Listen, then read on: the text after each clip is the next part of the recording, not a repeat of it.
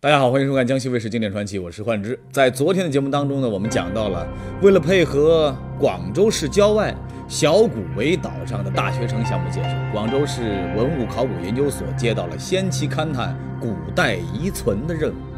尽管他们在当地村民的指引之下，发现了一座等级比较高的硫磺冢，可是遗憾的是呢，墓室里边已经空无一物了。最终在清理墓道的时候，意外收获了一大批珍贵的官窑瓷器。考古专家们根据相关文献的记载推测呀，这个硫磺冢应该就是南汉政权开国皇帝刘演的康陵。就在大伙儿认为这事儿啊一定就是真相了啊，这就是真相的时候，竟然有消息传来说，在小古围岛上有一个叫做大香山的地方，又发现了新的古代遗存。这个新遗存的发现，不仅推翻了考古专家们之前对于硫磺冢的推测，就连对它本身的发掘，那也是一波三折呀。具体怎么回事？来看今天的节目。结束硫磺冢的发掘之后呢，考古专家们本以为可以全员撤退了，谁知道大香山那边传来了需要帮忙的消息，他们立即就赶了过去。刚开始看到现场的时候，考古专家们感觉啊，就这还需要帮忙？小题大做。这个砖的这种规格和时代特征还是比较明确的，可能应该就是唐宋，特别是应该是什么中晚唐到北宋早期这么时间段的一一个遗存。那么很有可能它就是一座小型的砖石墓。尽管墓葬很小，但是考虑到当地大学城项目的建设进度，考古专家们还是马不停蹄地投入了工作。当然了，他们本以为这个大香山遗存的发掘能够很快结束，可是随着发掘的不断推进，他们开始觉得这个地方不对劲儿啊。根据我们初步的认识，我想它可能的面积可能也就是十来平方米，很快就结束了。但是，呃，从我们进场进行发掘到第三天、第二天的时候，我们就觉得就不对。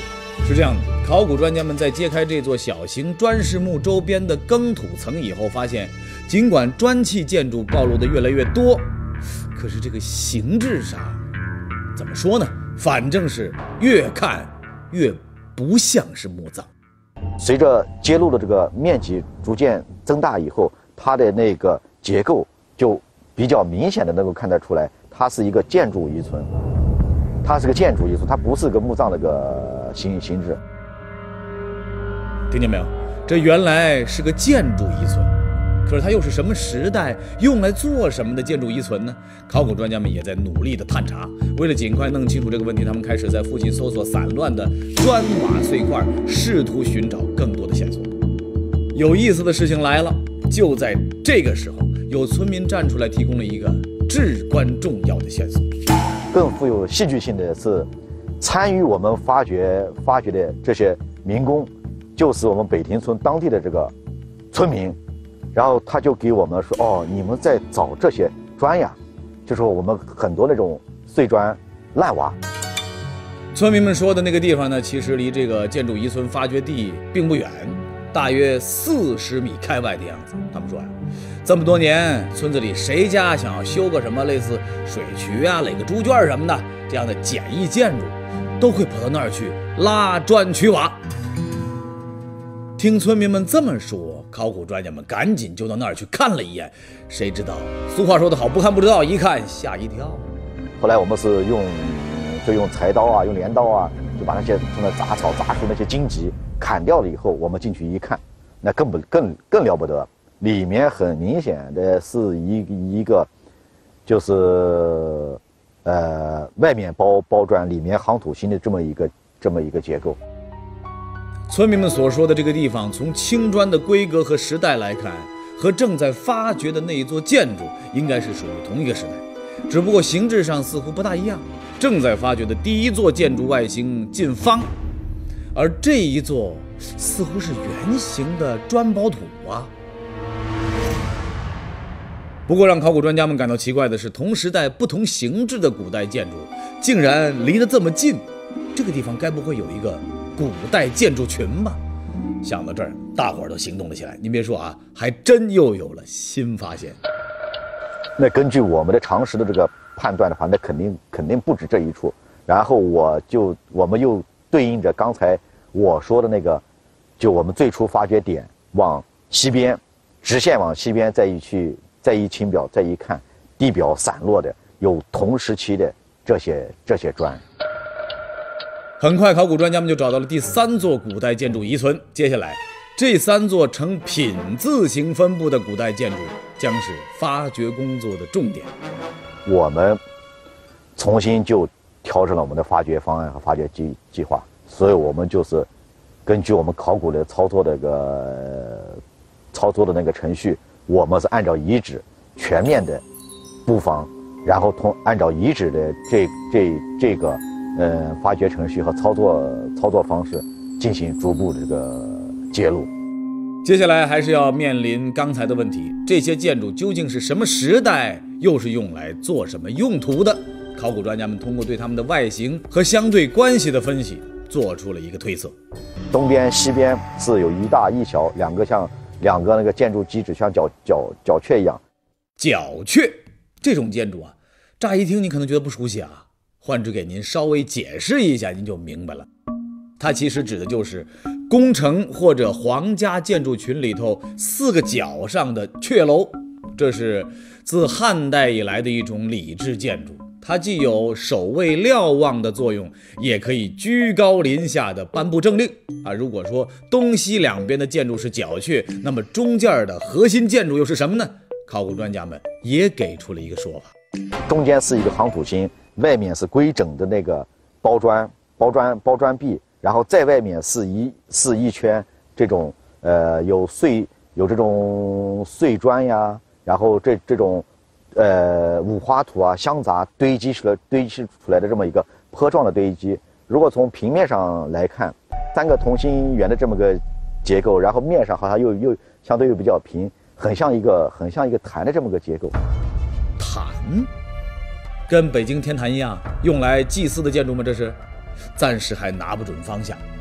专家们呢决定去查阅资料，希望能够得到一些线索。谁知道这一查呀，巧了不是？还真查着了。就是像《十国春秋》《春秋》啊，《南汉书》啊，就是那些历史文献里面就提到过，就说是在南汉的这个国都，就是新王府的南边是有这个交坛的这么一个。呃，建这么个建建筑吧，交坛，也就是修建在郊外的祭坛。根据礼制，交坛必须建在宫城的南郊。北京天坛就位于南城啊，也是遵循了这个规定。咱们再看这个大香山所在的小谷围岛，刚好就在广州城的南郊。那我们当初想的这个应该是交坛，那刚好跟文献都对得上了。这个发现让考古专家们全部都兴奋了起来。您要知道，这个地方如果真是南汉时期的交坛遗址所在，那么它在考古学上的意义丝毫不亚于发现王宫或帝王陵墓啊！跟文献对上之后，考古专家们又专门去请教了业内的前辈学者，在得到肯定的答复之后，他们迫不及待地向全社会公布了这个世纪大发现：南汉的这个交坛正在。发掘如火如荼的时候，我们是接受了媒体的采访，采访。然后我们作为作为考古发掘的现场现场的负责人，我们还介绍了我们当时的这个这个认识，那是面向全国发布的我们考古的认识。真的，它就是一个过程，挺有意思的。想起来，为什么说挺有意思呢？你要往下看，你也会觉得很有意思。因为这个发现从小型砖石墓变成了古代建筑群，又从古代建筑群被确定成为了南汉的交坛。接下来的发掘又把南汉交坛这个已经高调对外宣布的新结论给推翻了。这又是怎么回事呢？下节说呀。上节说到，在广州市郊区小古围岛的大香山上，又发现了古代遗存。刚开始，考古专家们都以为这是一个小型砖石墓，没成想，随着发掘的开展，又疑似古代建筑群。那么，接着通过查找资料，又推测成为了南汉的交坛。那么，这个发现正式对外高调公布之后，一时之间引起了不少的关注，就连国家文物局都坐不住了。派人出动，分两次，就是派了资深的考古学专专家，就现场等于说帮我们去把脉。这些资深考古专家来到现场之后，左看右瞧，哎，等等，不对劲啊，这个好像不是交谈啊。他们这种，从他们就认为这个有可能，很可能会是陵墓，可能不会，可能不太像我们之前认为的交谈。不是交谈，那是什么呀？很快，考古专家们就在现场展开了研讨。他们分成了两大阵营，广州当地的专家以及大多数从外地赶来的专家呢，都倾向于这个遗址就是南汉交谈。可是有一部分资深专家认为这个不是，要非说是什么呢？从大的概率上来说呀，这还是一座墓。有观众就要说了：你们还研讨什么？争什么争？你赶紧发掘下去，不就知道答案了吗？有道理哈。最终，考古专家们也达成了这样的一致意见，搁置争议，继续发掘。就不管它最终是怎么样，我们就是要按照这个考古田野操作规程，你就去从自上而下，从晚到早的，你逐步去揭露它，对，你逐步去揭露它，你只有。把它揭露清楚了，最终谜底才能够揭开，才知道它下面会是什么。关于大香山遗存的发掘速度，一时之间是陡然加快。所有人都希望接下来的发掘内容呢，能够验证自己的推测。那么结果呢？不得不说，姜还是老的辣呀。在发掘进行到地下两米多的时候，转折出现了。挖挖下去，两米多，差不多三米的时时候，赫然露出那么这个卷拱。这卷拱其实就是砖砌建筑的拱形穹顶，它的出现说明这所谓的交谈祭台下头啊，应该是有一个地下建筑的。再结合资深考古专家的意见，所有人立刻意识到，这个地下建筑就是陵墓地宫啊。也就是说，这大香山遗址并不是南汉交谈，而是一座拥有复杂地面建筑的陵园。我们当时一看，那那就不用再说了，那肯定是墓，那肯定是墓，因为那个结构一下就就就清楚了，上面是墩土，下面是悬宫。这突如其来的转折让考古专家们一时间感到混乱又迷茫啊！这之前所有的推测都被推翻了呀！甚至对于硫磺种的种种推测也再次产生了怀疑。实际上，我们没有想到下面是墓室，因为我们固有的思维，它可能是那边那边是康康陵，那么这边是这个南汉的交交谈。这么回想一下，其实刚开始发掘硫磺种的时候，专家们内心也是有疑惑的。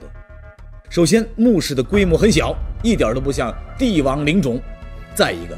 也缺少神道、享殿等等这样的地面建筑，可是最终随着墓道底部器物箱的出现，大批官窑瓷器的出土，所有人几乎都打消了硫磺冢是不是康陵这样的疑惑啊，确定就是康陵。那么接着发现了这个大香山外方内圆的古遗迹，加上这所有的情况，又恰好在文献当中找到了对应，考古专家们自然而然地推测大香山遗址那就是南汉交谈。那么就现在的情况来看，这大香山遗址如果是个大型帝王陵墓的话，那之前发掘的硫磺种到底是不是康陵呢？如果不是，那硫磺种里的硫磺又会是谁呢？陷入逻辑混乱的考古专家们决定再次求助文献。跟您说哈，又有新发现。再去回过头去看文看文献，就是在在新旧五代史里面提提到的德陵，就是康陵。这个刘岩他的哥哥，呃的陵墓德陵也在这个小古围岛岛上。这里头有这么个情况，说刘演的哥哥名叫刘隐啊，他在公元九一一年四月三十八岁病逝了。当时呢依然是后梁册封的南海王，直到刘演称帝之后，又追谥刘隐为襄皇帝。那么，难道这大香山陵墓的主人是襄皇帝刘隐不成吗？这不对，首先，一个刘隐的陵墓怎么可能会比刘演的还要大呢？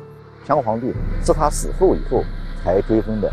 那么，按照这种规制的话，他是死后才追封的这这这个身份的话，他当时是不应该有这么大的这种陵墓规模的，尤其他不应该有这么大的陵园。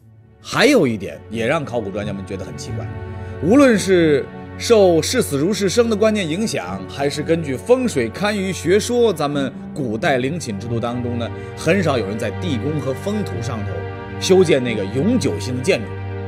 这也是当初考古专家们把陵墓误认为是交坛的原因之一啊。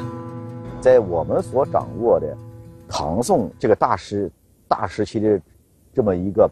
呃，皇家园林的陵寝制度里面不曾见到这样的个结构。面对种种疑惑，考古专家们决定继续发掘，希望能够在陵墓地宫当中找到相关的线索和答案。先清理墓室，清理完墓室以以后，随后随后我们又有选择性的，就是清理那个墓道。很快，考古专家们就分成了两组，分别从地宫的南北两侧着手开始清理墓室当中淤积的泥土。在清理的过程当中呢，考古专家们在淤土当中发现了不少包含物，其中大多数是随葬品的残片，质地呢包括陶瓷、玻璃、铜、银、铁以及玉器等等。看来这座墓葬呢也遭遇了不少的盗扰啊。紧接着，考古专家们进入了墓葬的地宫，他们发现这座神秘帝陵的封门方式和之前那座硫磺冢啊一模一样。甬道外侧也是由上到下用三块长方形的石板封堵，内侧则是用青砖砌起了一道封门墙。不过可惜的是啊，封门虽然完整，可是地宫里头那简直四个字可以形容：面目全非。不仅一件像样的随葬品都没有，整个地宫呢也满是淤泥。就在考古专家们以为不会有什么重大发现的时候，清理淤泥之后，露出了一块垂直竖立的石板。奇怪啊，这石板干什么用的呀？怎么会出现在地宫前室当中呢？考古专家们再仔细一看，不得了，木质。好了，木质一出现，所有问题都能够迎刃而解。那么这座陵墓的主人到底会是谁呢？下节说。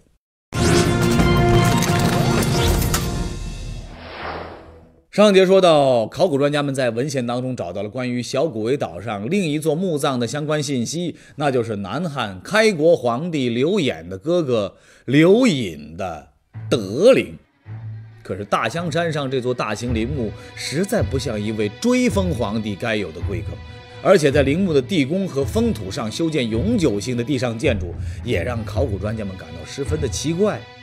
种种疑问都只有通过继续发掘才能找到答案。很快，他们就在地宫的前室发现了一块写满文字的木质。这下好了，哈，有木质了吗？所有问题都解决了。然而，当考古专家们看清楚第一行文字之后，心中的心情啊，怎么理解呢？两个字。惊讶呀！写了什么呢？您看清楚，“高祖天皇大帝哀策文”，是不是挺耳熟的呢？没错，这就是那个文献当中提到的应该出现在康陵里的墓志啊。在发掘硫磺冢的时候，考古专家们还以为这块墓志被盗挖走了，如今却出现在大香山的陵墓里头，这说明什么呀？有观众肯定要跟着一拍大腿了，还能说明什么呀？说明这才是康陵嘛。估计可能我们应该是搞反了，因为这个刘岩是真正的南汉的开国皇帝，而且他的在位时时间长达二十二十六年。因为就是说，刘岩在位的时候，南汉的前期是南汉国力基本上应该是，呃，就是他的国力和富裕程程度应该是最高的这么个时时间段。事情说到这儿，总算是解开了一个最大的谜团。大香山这座拥有地上陵园的南汉帝陵，才是真正的康陵所在，并且以此推测，之前发掘的硫磺冢应该那才是刘隐的德陵。那么这个时候，我们前后历时七八个月，让他们考古发掘这个谜底，算是真正的揭开了，尘埃落落落定了。人家自己都已经把自己说的清清楚楚的了。那么这座真正的康陵当中，究竟会有哪些珍贵文物出土呢？赶紧去看一下。兵分两路的考古专家们最终在墓葬的中室汇合了。由于盗扰情况十分严重，他们在完成整个地宫的清理之后，提取到的随葬器物几乎都是一些残损的陶瓷器。经过后期的细致工作，考古专家们一共修复了包括六耳罐、啊花口碗、粉盒在内的五十八件青瓷和一百一十六件陶器。在这些修复的随葬器物当中呢，有二十多件特别有意思，啊，您瞧瞧，这些是被学术界称为象声的器物，只不过它们的外形模仿的不是人，也不是动物，而是热带的水果，岭南佳果，哎，就是就就就是他用他用陶做了很多个菠萝呀、香香香蕉啊，可能还有什么马马蹄呀，就 那那些东那些东东西，那些东西一摆出来，别人一看啊，这是广东的，听见没有？岭南佳果，这是当时的考古专家们为了这批别开生面、极具地域特征的随葬品专门取的名字。除了这些之外呢，考古专家们还在墓葬后室的地砖缝隙当中发现了两枚玉片和一些串珠。根据玉片中心的穿孔和凹槽来看呢，它们应该是来自一条玉制的腰带。在前室和中室连接的过道上，发现了两件玉玺以及几枚开元通宝铜钱。专家们啊判断这些应该是盗墓者遗落在这里的。至于文献当中提到的康陵当中应该有的奇珍异宝，那完全没有踪影啊。说到这儿，有观众要问了，还有一个问题没解决啊，不是说一般地宫和封土之上不会有永久性建筑吗？这个康陵怎么回事啊？啊，这一点，考古专家们在查阅了大量的资料之后，也有了一个推测，那就是这种奇怪的包砖建筑很有可能是刘演这位很有个性的皇帝自创的形制。尤其是像印度的那那个苏都坡的这这种这种形式，专家说的这个苏堵坡呀，啊，其实是来源于印度的一种在台基上兴建半球形塔身的佛塔。最初，古印度人建造它的目的呢，是为了埋葬佛祖释迦牟尼火化以后留下来的舍利。这个苏堵呢，在梵文当中就是坟冢的意思。